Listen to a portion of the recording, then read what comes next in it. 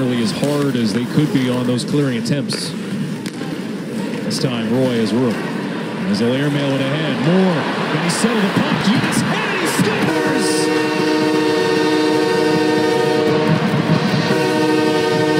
What a setup from Matt to Trevor Moore, creating the breakaway, and it's 5-2.